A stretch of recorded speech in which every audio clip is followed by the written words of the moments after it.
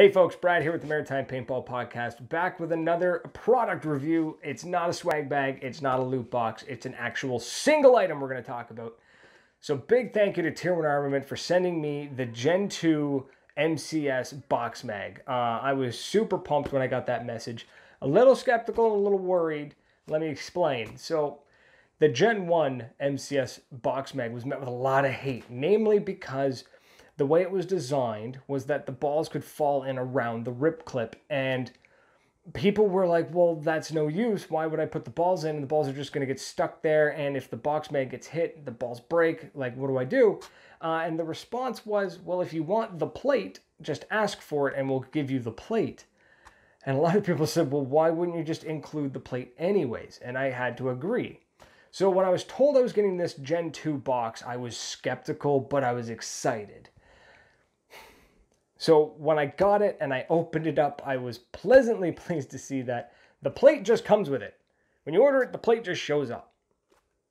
Cool. We've, we've solved that problem. Okay.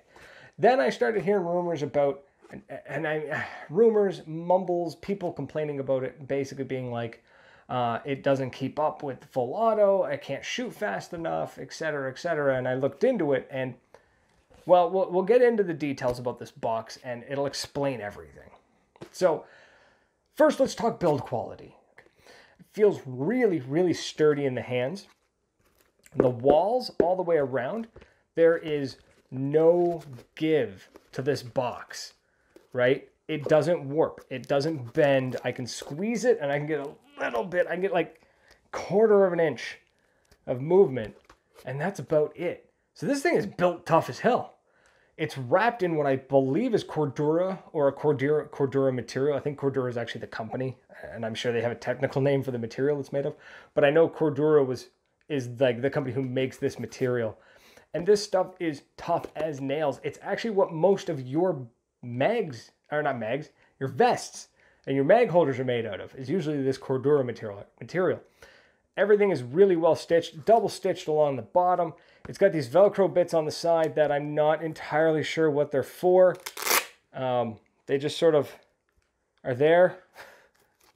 I don't know, maybe you can hang stuff off of it. I'm not entirely sure what purpose these, these uh, actually do, uh, other than adding a nice aesthetic to it, which if that's the sole purpose, then that's fine. Um, and then it's got this band wrapped all the way around and then stitched on the front. The lid is actually all fabric. I was really surprised to find that, that the lid of this is entirely fabric. So it just lifts off. And then the stitching on the hinge area, I guess that's the hinge, is like double and triple stitched and folded over itself and everything. It's pretty wild. I'm digging it. The uh, the Velcro like mechanism, I guess the word, I don't know what words to call it, the design. I'm a little bit, I don't know, I, I think, I think I would have rather a different design than, than that fabric because I feel like it's very difficult for me to rip off and like it's just awkward. It's awkward when I pull on it um, to, to try and open it and then it, it jumps, like it lets go and then I'm all over the friggin' place. Also, Velcro wears out. So I'm not I'm not super pumped about this because uh, that fabric, I feel like that Velcro is just going to wear out over time, or it's going to get dirty. Velcro gets dirty and you can't use it anymore. So that that I was a little bit. I mean, it's not a deal breaker by any means, um, but I was like, okay, that's that's number one that I really don't like about this product so far. Out of um, a dozen things I like about it, you know, I love the build quality, the weight of it, the look of it, the feel of it is just great. So, also the plate. Let me see if I can open this up again. There we go. The plate is there. You can see it. See, there's the plate, and you can see the rip clip in there. So, I mean, great design all the way around. Nice, heavy, rigid plastic box. And just this, this MCS logo on the side just looks super sharp. It's so well defined.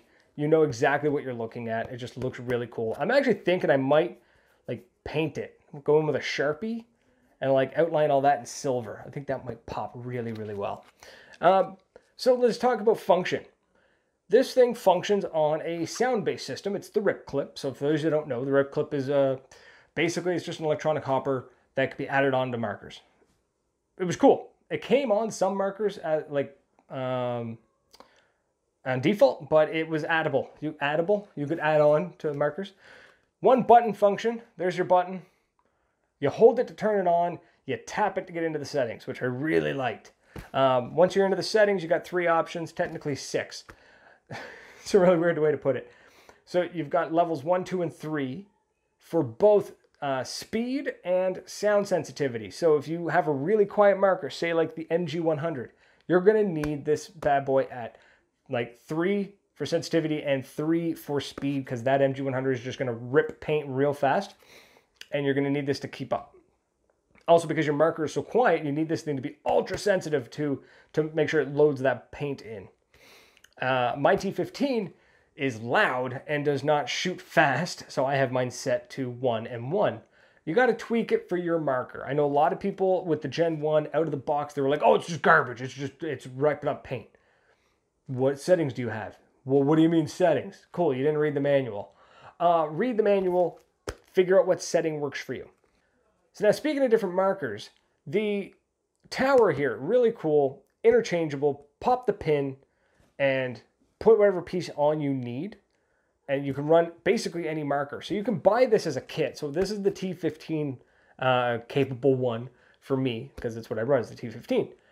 But uh, you can buy just this, right, without the tower and buy a different tower if you want. Or if you've got multiple markers, um, because I've got a MaxTac, I've got TGR as well as my T15. So maybe I want to run my MaxTac with the Box Mag and my T15 as my first strike marker.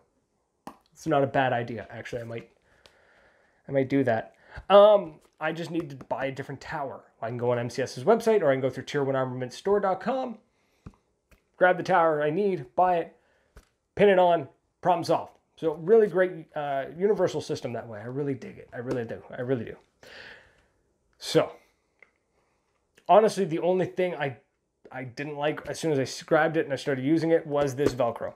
So let's pop over real quick outside. I'm gonna shoot it a bunch. You can see how well it shoots, and then we'll come back into the studio and, and give some final thoughts on it. Yeah? Okay, so let's go outside.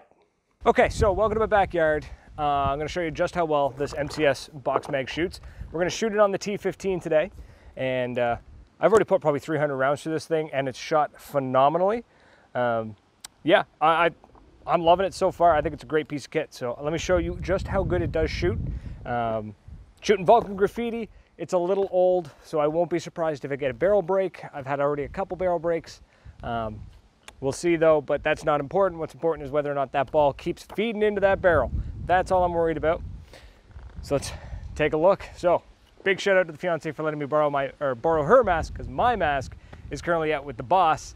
I think at Crossfire PEI uh, Crossfire Paintball in PEI. So yeah, okay, mask on. Let's do this. So I love this thing. Turn it on, push a button, problem solved. You hear it wind up. She's good to go. Come on. There we go.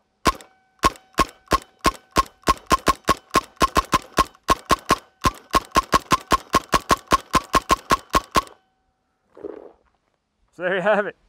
So that first misfire was simply because the ball wasn't loaded up into the mag well yet, which is fine. Um, the thing is sound activated, so pull the pull the trigger, hear the shot. Hold on, let me take this mask off. So you pull the trigger, it uh, it actuates the motor, moves the ball up. That's not a big deal. That's kind of my fault for not uh, for not priming it. So you got the little wheel on the bottom there to prime it. But as you can see, it just it shoots phenomenally well. Uh, I have it set on its slowest setting. I'm not fast on the trigger figure, uh, trigger, not fast on the trigger finger, so I don't need it to be. Um, full disclosure, this will not keep up with the full auto trigger on the T15, but I have no intention of running a full auto trigger. Um, I mean, it may be cool to have one, but I really don't see myself needing one. Who knows? We'll see what happens in the future. Maybe I'll, I'll grab one just for shits and giggles. But yeah, it shoots phenomenally well. How much air do I have left? Okay, I've got about 500 PSI left. Let's see if we can shoot a couple more. See if we can get uh, another couple more shots.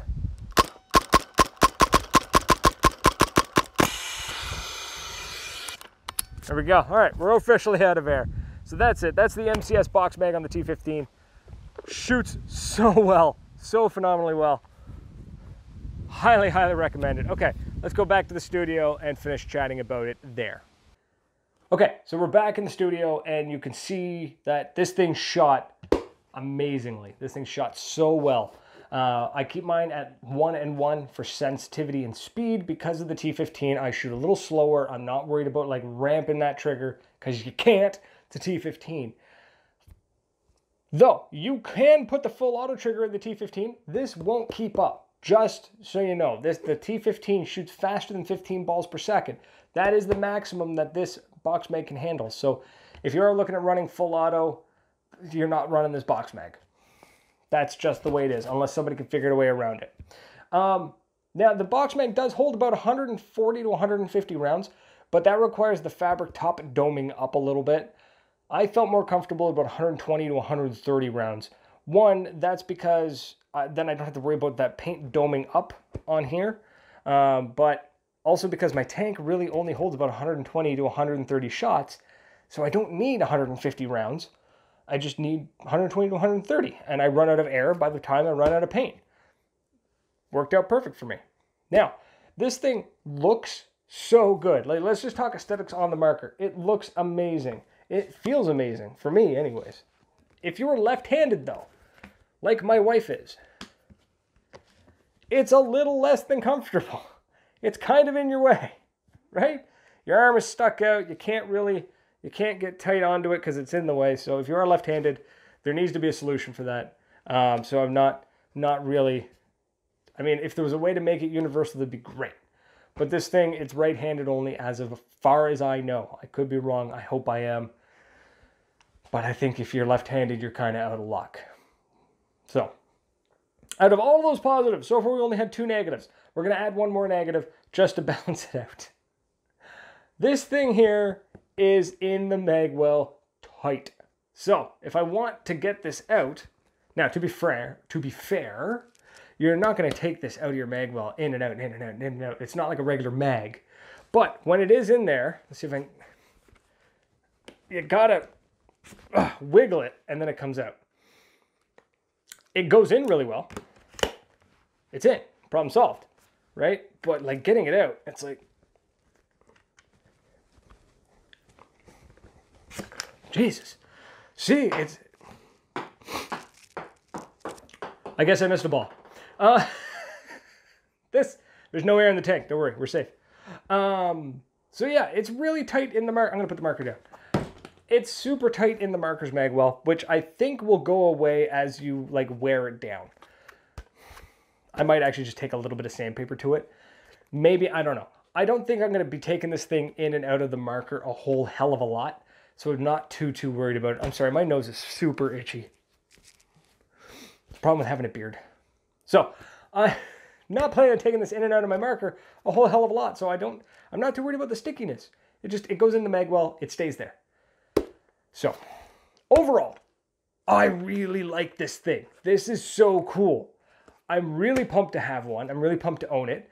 Um, I do wish that the Velcro front was a little different. I really, I, think there could be a better system for that. Like hell, just like a, um, a clip or something would work for that. Would work a little bit better than Velcro. Um, but what can you do? The fact that I can't use it left-handed means that any of my left-handed buddies aren't going to be wanting one of these. Bummer. And the fact that it's so sticky in the magwell that like if I need to get it out, I'm fighting with it and I don't like that, but it's it's such a small thing because I'm not going to take it in or out. So all in all, three negatives, but I love the way it looks. I love the way it shoots, and I love the way it's built. Those three things override those three little issues that I have with it. I highly recommend it. I think these things are great. I think everybody who wants to run a box mag on a marker, look, I get it. It's like some of these companies are pumping out some cool 3D printed stuff, but like this is injection molded, rigid plastic. It ain't gonna fail you. And it's using a rip clip. It's a tried and true technology. If it ain't broke, don't fix it. So we're using injection molded plastic, rigid as hell. The Cordura material, which is really tear resistant, and you've got the rip clip, which is known to work. It's a recipe for success. Highly recommend it. If you're in Canada, head on over to tier1armamentsstore.com Pick yourself up one of these bad boys. If you're in the US, head on over to MCS's website. I think it's mcsus.com and grab yourself one. You're going to have a ton of fun. 120 rounds, no reloading. I love it. I think it's great. I highly recommend it. So, again, big thank you to Tier 1 Armament for sending me this for the review. Um, other than this little latch piece here and the fact that it's not left handed, I love it. I think it's great. I cannot wait to play with this thing. It's going to be a blast. All right, that's it. I'm out of here. If you want to catch more of me, keep an eye on the channel because I'll be posting videos every two weeks, maybe every three, worst case scenario, as well as you can find me basically every Tuesday night, 7.30 p.m. Eastern, live on facebook.com slash maritime paintball podcast, where I'm chatting with guests, I'm chatting with you guys. Sometimes I'm speaking into the void to no one. Who knows how the day is going to go. But I'm out of here. Thank you so much. Leave a comment below. I want to know what you guys think of this thing. Do you have one? Do you love it? Do you hate it? What do you think? I want to know. All right, I'm out of here. Cheers.